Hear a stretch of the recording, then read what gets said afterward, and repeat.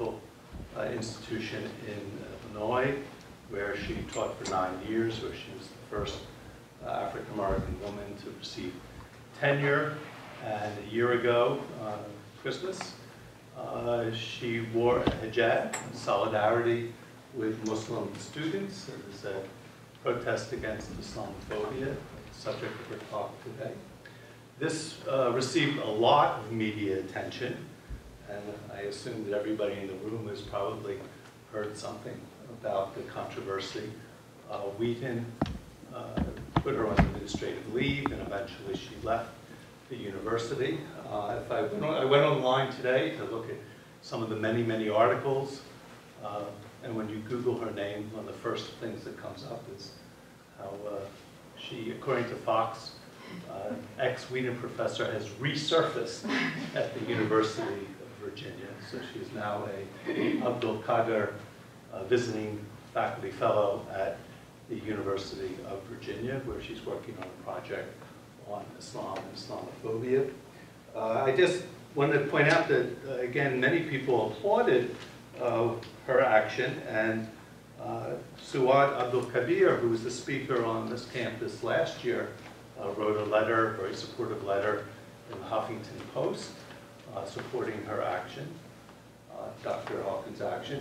but even more recently, two days ago, the New York Times gave its one of its undergraduate or uh, student journalism awards to a student who wrote an editorial. Uh,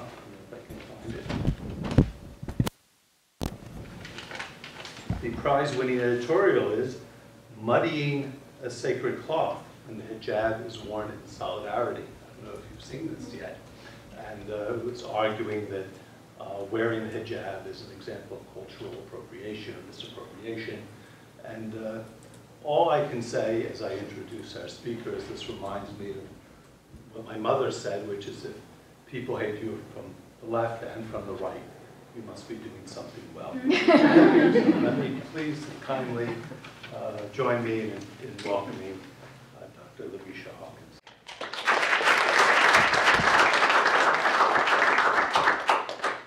Thanks.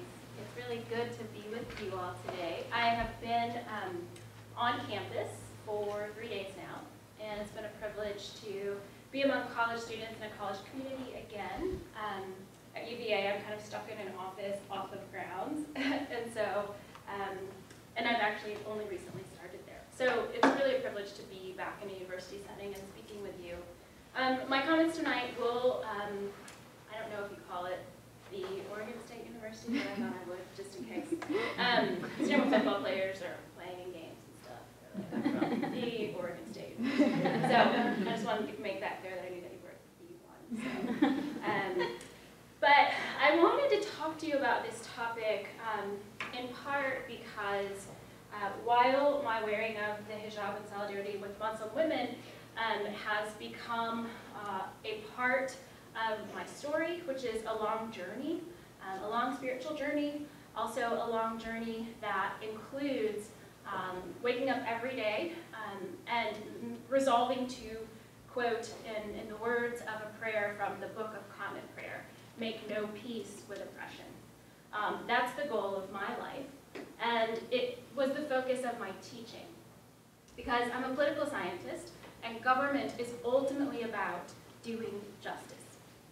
And as long as there's injustice in the world, we all have a job to do, whether at the level of government, civil society, business, uh, what have you. And so the overarching focus of everything I do, and even of my religious journey, has been a journey towards the prophetic books of Scripture, um, a journey towards understanding that, you know, righteousness always has to be coupled with justice. They're not twin pursuits, they're not parallel pursuits, they're wedded together in the Torah and uh, in the New Testament um, as well. So as one looks at Jesus' life and teaching, his life and teaching, his ministry um, is geared towards walking with the oppressed, those who need justice. And the call of the Christian for the prophetic books, um, the call of uh, the Jew, the faithful um, religious pilgrim, is towards the vulnerable, moving towards the vulnerable so as to walk with them in their oppression, but also calling government and institutions of society to task for the ways that we oppress. So that's what my teaching is about, um, and broadly speaking, that's what wearing the hijab about. The United States is a country riven within. Geopolitical forces at play in the present day may assure our self-destruction from within, and encroaching international problems may solidify our unraveling from without. If you don't believe me, let's look at popular culture. Even Iron Man and Captain America can't agree, so what's a country? Politics doesn't occur in a historical vacuum. Yet, the United States of America is one big anachronism after the other. The United States, the city on a hill that's forward-looking, that's entrepreneurial, experimental. But the city on the hill doesn't look back to its past. It looks forward to its future. Thus, we're often doomed to repeat the problems of the past. Uh, scholar Roger Smith says that we have multiple traditions. Along with egalitarianism, we practice xenophobia, racism, sexism, genocides, holocausts of our own making. And so, people, in spite of our contradictions, our self-referentially incoherent adherence to our own ideals, our hypocrisy, people are willing to sacrifice, even die, for the United States of America, the imperial cult. Politics and religion have always mixed in the United States. But beyond that, the state is a cult in and of itself. Political scientists talk about something and historians call civil religion. Um, the American imperial cult is replete with symbols, icons, rituals, monuments, prayers, and what those of us who study religion call liturgy, for those of you who practice. The nation's pastor operates in priestly and prophetic modes. In the priestly mode, the President of the United States blesses the nation. Name one speech where you've heard a president speak where he doesn't say, God bless America. And calling the nation also to its higher ideals, as the prophets do to overturn injustice. So tell me, I like for people to be interactive, what are some of the rituals of the American cult? The monuments, the things that, the symbols, the things that lead us to sacrifice for something purportedly bigger than ourselves. Uh, Pledge of Allegiance. Pledge of Allegiance. Someone over here. Elena. The anthem before sports events. Okay, the national anthem before sporting events. Other things. Talked about some rituals. other sacred prayers? Journey to DC. Okay, journeying to DC, the nation's capital. So lots of high schools have this program called Close Up, American Close Up. Goal is to get American um, high school students enamored with the seat of government and of power early on. Any other things? High holy holidays like Thanksgiving, Fourth of July. So the imperial cult is real. And purportedly, it's our Americanness, our gathering around the flag, our rallying around the flag, and performing these rituals, right, that binds us together. But the politics of the American cult are awfully quick to exclude those that we have deemed apostate, impure, or otherwise not worthy of the American imperial cult. And especially zombies. so, zombie politics, I like to talk about. I love the zombie genre, in case you haven't noticed. My family has an intense ongoing conversation about which two family members we would include on our team in the coming zombie apocalypse. and if you don't believe it's coming, it is. Zombies were once like you, but now infected, they are public enemy number one, dangerous by definition. In a zombie political economy, zombies are rational actors. That is, they're in it to win it, and their market preference is you. They have demand, and your pretty, uninfected base is their supply. You, equally market savvy, prefer to survive. Your approximate market solution? Kill the zombies. In the US political context, we have our own zombie political economy. Each morning, kids on the west and south sides of Chicago, the two areas of the city with the highest murder rates, are welcomed to school through a program called Safe Passage. But as they enter the portals into their future, public education is touted as the leveler, leveler of children's playing fields, right? No, they're actually socialized into society's self-fulfilling prophecy born of bankrupt social imagination. Schools are replete with guards and counselors ready to call the police on six-year-olds. Private prison profiteers project how many penitentiaries to build on the basis of third grade children's. The American dream, eight-year-old zombies. You don't have to speculate about why the mayor of Chicago doesn't send his kids to his local public school in the city of the big shoulders, and the President of the United States, by the way, too, when they lived in Chicago. Once we create political zombies, we apply any number of symbolic metaphors to rationalize why their suffering is their fault, and to rationalize why we are justified in stripping them of citizenship.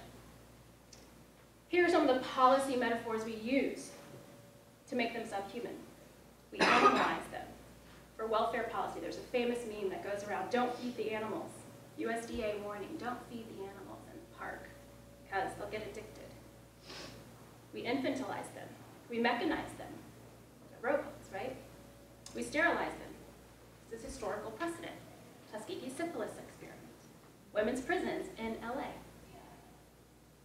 Also, welfare reform in 1994 sought to sterilize women on welfare. It didn't pass, but it was, it was bantied about by Republicans and Democrats alike. So once we've dehumanized them, we ghettoize them by relegating them to the edges of our lives, to the margins of our society, to the peripheries of the planet, and to the lowest common denominator of our politics. But this containment strategy is tantamount to making them political spectacles so we don't have to see or deal with their suffering. In addition to black male zombies, we have religious zombies. In the land where the first freedom of the Constitution is freedom of religion, Muslims are zombies. In November 2015, about an hour's drive from the University of Virginia, where I'm an Abd al-Qadir fellow, something happened that highlights this actual fact. Show you a brief video here. This is Jerry Falwell Jr. from Liberty University in Virginia, Lynchburg, Virginia. The name is consequential, by the way, Lynchburg. Lynchburg is about an hour south of Charlottesville, Virginia, where I now reside um, as a visiting faculty fellow. And in his chapel sermon, chapel is like a church service. Liberty is a Christian university. Students have to go to chapel every day of the week. During a chapel service, Jerry Falwell Jr. implored his students to bastardize the Second Amendment and quote, in those Muslims, before they kill us, and quote, teach them a lesson if they ever show up here. He went on to suggest free gun courses offered on campus and the ability to gain gun permits. This happened December 4th, 2014, uh, 2015, in the aftermath of the San Bernardino shootings. It just blows my mind when I see the President of the United States say that the answer to circumstances like that is more gun control. I mean, if the people.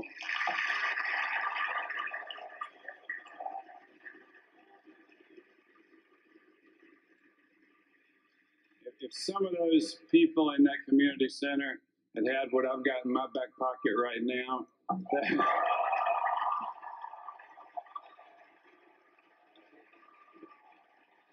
Is it, is it illegal to pull it out? I don't know. Is, it, is that?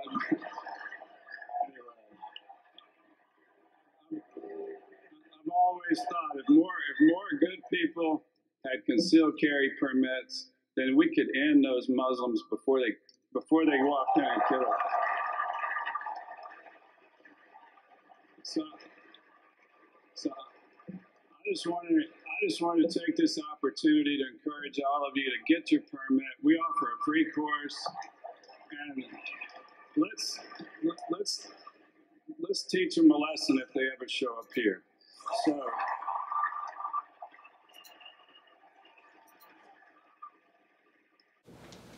I was reminded by a different sermon, Sermon on the Mount, to walk a mile in my neighbor's hijab.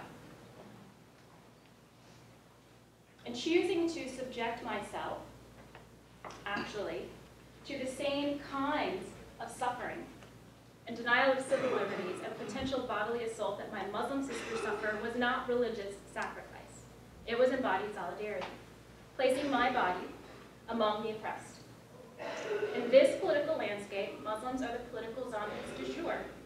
So many Christians scarcely winced as a fellow Christian instigated the murder of Muslims, and instead of walking with Muslims in their distress, rather asked me why I wasn't standing with persecuted Christians in the world. With their zombie vision glasses on, these same, some of these same people go to the Church of the Nativity to see where Jesus was born. Yet, the fact is lost on them that the church is in Palestine, where Palestinian Christians and Muslims have no place to lay their head, because there's an occupation of bodies, not just of land. Interesting how folks can see Jesus, the suffering servant's manger, yet forget that he came to suffer with oppressed humans, like Muslims.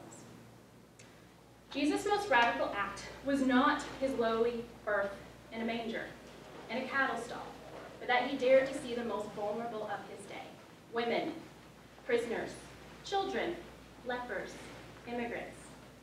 And in fact, in order to heal lepers, Jesus had to go out of his way to go to leper colonies, placing himself in the midst of the oppressed and oppression.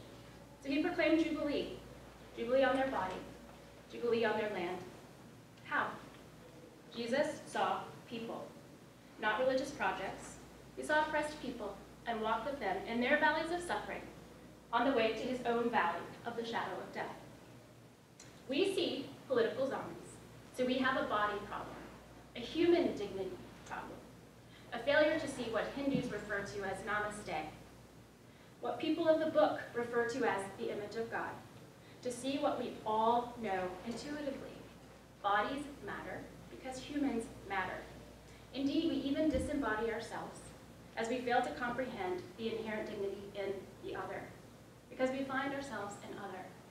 As an African proverb, Ubuntu says, I am because we are, and we are because I am. Even worse than ostracizing bodies to Zombieland, we permit political institutions to destroy certain bodies.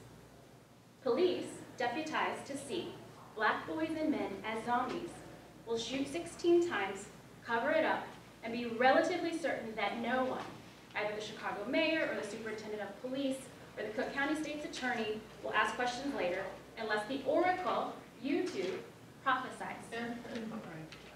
We have to acknowledge that black bodies don't matter to understand why we don't believe that black lives matter. Trayvon Martin, a child. Tamir Rice, a child. Black boys are zombified early as problems to be managed, rather than bodies to be brought back into the political community. That's why they can't breathe. We have to acknowledge that Muslim American bodies have been declared indispensable in an age when Americans broadly have accepted neo-fascist us versus them, blowhard political rhetoric to qualify one for president. We see bodies, we see zombies, so how do we bring back the bodies?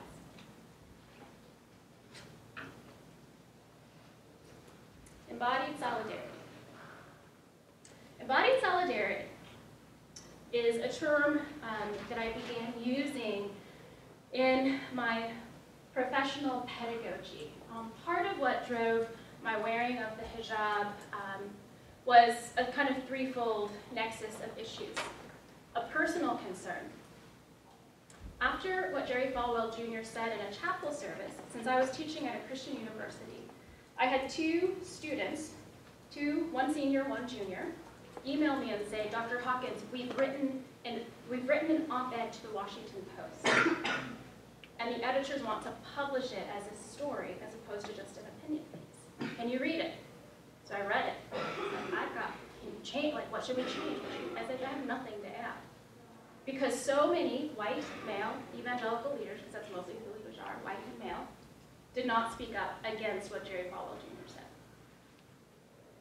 So two young students from Wheaton College, Wheaton America, wrote a letter shaming the political and religious leaders of the Christian right, saying we don't stand for hatred and bigotry because that's not what our book teaches. That's not how Jesus walked.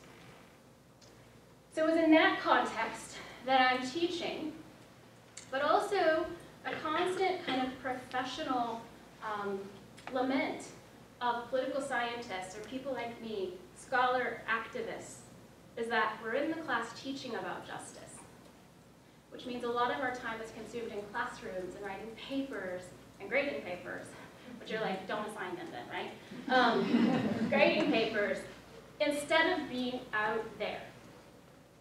So the pedagogical challenge was how to make my classroom this space where we don't just talk about justice, but we do justice. Because theoretical solidarity, solidarity up here, is not solidarity at all.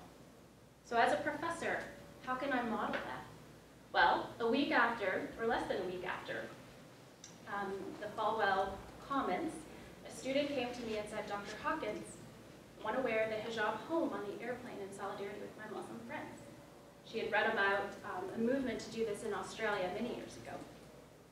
And I said, well, and she said, and I want to invite every college student I know on Facebook. And I want all of them to invite their friends. We want this to be this national movement of wearing the hijab to support our Muslim sisters. So I said, let me talk to the Council on American Islamic Relations, find out whether this is permitted, whether that would defile the hijab, is that considered haram or unclean uh, in the Muslim faith. So uh, I have a good friend who serves on the board of the council, not the board, but is um, an executive officer at the Council on American Relations in Chicago. Called him up, had a conversation. He consulted with um, the staff at the office, and they said, we totally give you our blessing. We think this is amazing. In fact, we want to share this with CBS Chicago. We have contacts there. Um, this is the kind of thing that we applaud. And in fact, we want to make this educational. We don't just want this to be on the news. When, you, when your students come back, we want to have a panel on campus and talk about Muslim women's experiences and these Christian college students' experiences of wearing the hijab and the kinds of things they faced at airport screening. So we were being prepped by the Council on American Islamic Relations. It was finals week, so I never heard back from my student. But I had determined that evening um, that I was going to wear the hijab not for a day, but because of my religious privilege as a Christian. It was my privilege to put on the hijab and take it off, model it to my students. And it was the season of Advent, and, and Advent is the season where Christians await the birth of, of Jesus. So it's that, that waiting of his coming. And during Advent, I thought, why not wear the hijab as an act of worship during Advent to walk in solidarity with my Muslim sisters. Um, just as Jesus came to suffer with humanity, to be in embodied solidarity with my Muslim sisters during this season. Um, it's really easy as professors to neglect our high holy seasons because often, I don't, it often falls around grading times, Christmas, Passover, um, at the end of the year, um, middle of semester for, for Christians, Easter. Um, so again, it's just a way to refocus. Um, but the main priority was human solidarity. So that's just a little background. It's happening personally, professionally, pedagogically. So embodied solidarity, solidarity just means suffering with. Suffering with. Suffering with involves, though, our entire bodies. That's the embodied part. Embodied solidarity is not symbolic merely, because solidarity from a distance is not solidarity. This means moving toward places where injustice abounds, because injustice is always an opportunity to stand with the oppressed. Embodied solidarity means never making peace with oppression. Embodied solidarity is not a program, it's not a public policy, it's not poverty porn, it's not a pity party, it's not religious, but it is a way of life. A call to live as an embodied question mark, always. And to the death, if that's what solidarity requires. Embodied solidarity consists of four guiding questions. Number one, what and whom do you see? Our paradigm needs to shift to see suffering bodies deserving of dignity. There's no such thing as invisible injustice or opaque oppression. We don't see suffering bodies anymore because we don't want to, because we don't have to, because it's hard on the eyes. But the eyes of our hearts must be opened to see the bodies we've castigated to zombie hell because we cannot suffer with people we refuse to see. Oppression is everywhere. Do you see it? Or have you made peace with its persistence in the universe? Which groups of bodies have you written off as zombies? So second, where do you find yourself?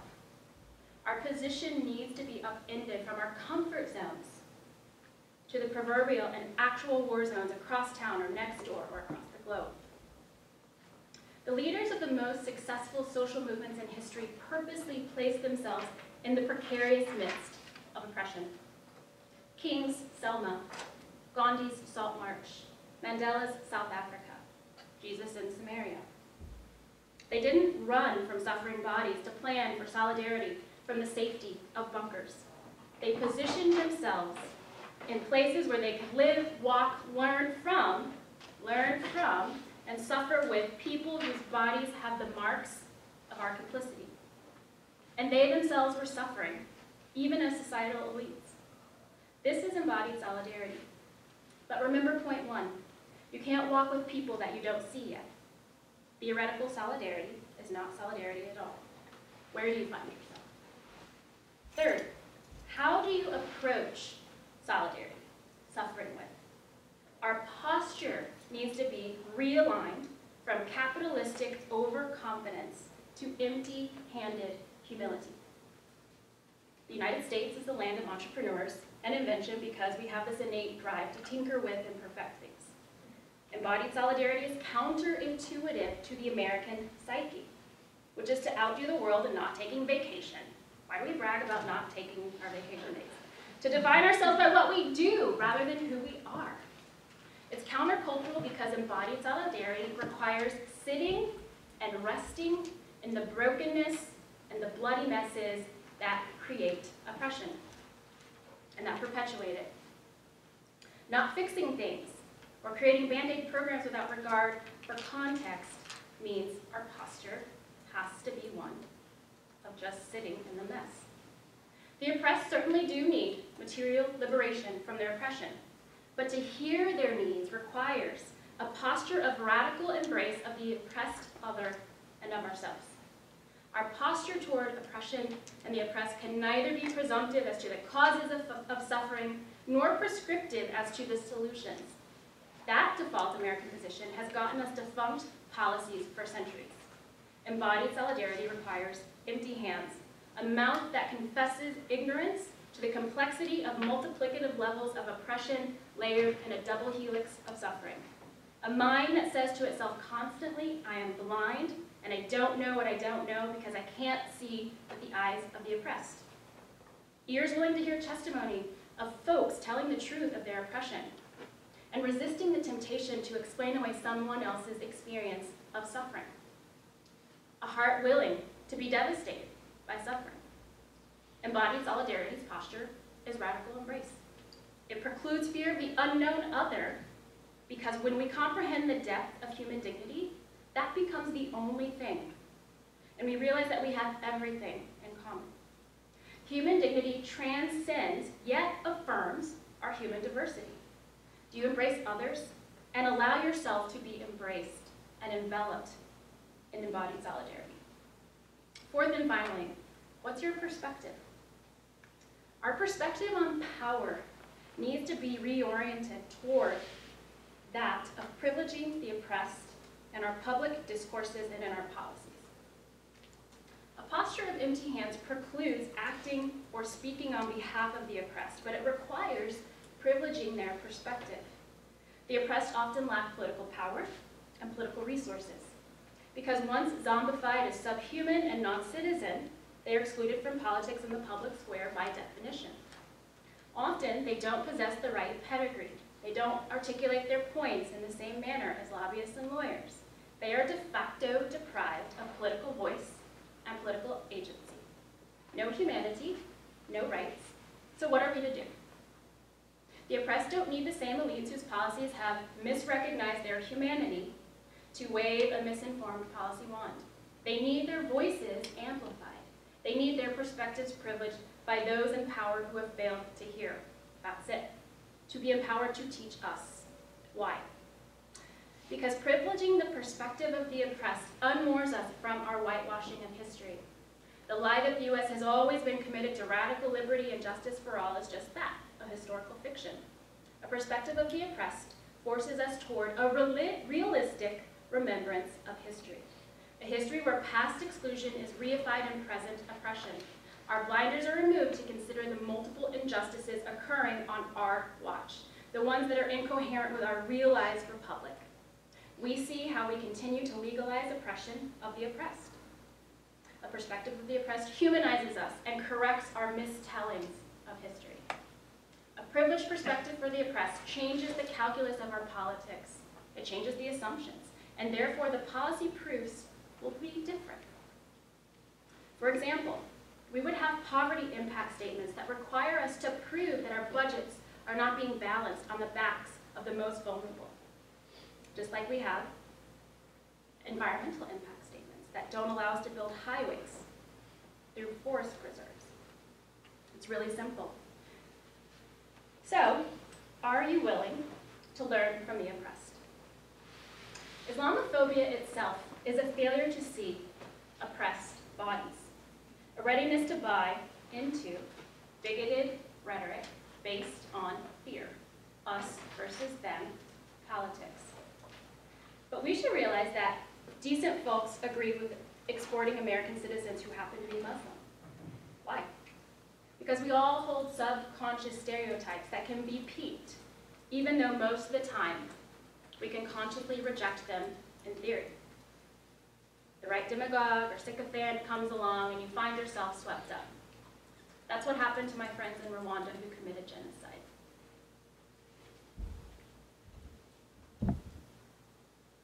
In 2014, I visited Rwanda, exactly 20 years after the genocide began, depriving 800,000 Tutsis and others of that which is sacred, life. Hutu extremists and just ordinary Hutus slaughter their neighbors, even their own Tutsi relatives. For political power, yes, but also because, as one Rwandan genocidaire told me, that we were just caught up in the killing. Before Americans and Oregonians and Beavers get on their human rights high horse, remember our recent history, the country guilty of Abu Ghraib, replete with Orwellian euphemisms like enhanced interrogation techniques as justification for torture. 24 was more real than we thought. So lest we believe that we have a morally superior bone in our national body, recall that the genocide happened while we watched a Democratic president, Clinton, a Republican Congress of the contract with America, and a very aware State Department watched, well, ignored the plight of our Rwandan brothers and sisters. Clean American hands is an oxymoron. You too are complicit, better yet, culpable to the extent that we Americans did little to protest it. Some of the students were barely born, though. I was a student at Rice University, taking of all things an East African history class and worrying more about what I was going to wear on Easter Sunday than the 10,000 or so bodies floating down the Kagera River toward Lake Victoria. Because the genocide started on Easter Day. As a college student, learning about East Africa, which is where Rwanda is, I made peace with the oppression of genocide. Fast forward to a different liberal arts college 20 years later, where I was now the professor, imploring my students to never make peace with oppression, like I did, and still do. Because Rwanda happened as professors like me peered across the world from their privileged ivory towers and did nothing. The most heart-wrenching sight in Rwanda was not the underground tombs filled with shells instead of caskets Shells reminiscent of an archaeologist's lab, shells of bones, like skulls with pickaxes protruding from them, and femurs striped with machete marks. That was horrific, but not the most devastating. It wasn't the piles of clothes left behind by people who thought they were seeking temporary sanctuary in Catholic parishes. It was the babies. Children's blue books filled with lessons in cursive. And mostly, I'm haunted by the apparition of blood and brain matter imprinted by the crushing of a baby skull against a brick wall of a church for being born Tutsi. The genocide is a pox on all our houses, but I fear we are not convinced that when any human suffers, we suffer. That an injustice anywhere is a threat to justice everywhere. I long to cry out, out damn spy. But first we have to see the writing on the wall, the baby's blood, and choose to live differently, to live in embodied solidarity. To live embodied, there can be no condemnation of them by us, only resignation to the fact that we are genocidaires. Because we scarcely believe in human dignity. Because we have made peace with the persistence of suffering bodies so that we fail to see people of bone and marrow beyond the headlines and YouTube videos. Perhaps we don't even see ourselves because an American obsession with rights, which are baseless without a grounding in human dignity anyway. In our context, human dignity has devolved into hyper-individualistic, materialistic political depravity, where presidential candidates encourage violence against a young Muslim friend of mine in one breath and ridicule the disabled in the next. Because bombastic American narcissism trumps the public good, and that's our presumptive nominee in 2016 for the Republican Party. But I'm talking about human dignity, not human rights. Because human rights don't mean a damn thing if we don't believe that Rwandan babies' bodies matter. That's called human dignity. UN declarations and constitutional machinations don't free you to thrive if people see you as a zombie. Our moral and political machinations need to recapture the centrality of human dignity, to see people.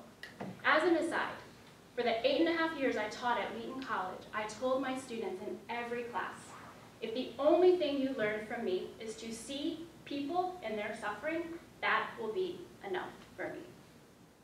We don't see people. Human dignity. Whether in Baltimore or Burundi, I am because we are. Because what the hell matters except the souls that occupy the bodies that bear the visible and invisible scars of human oppression.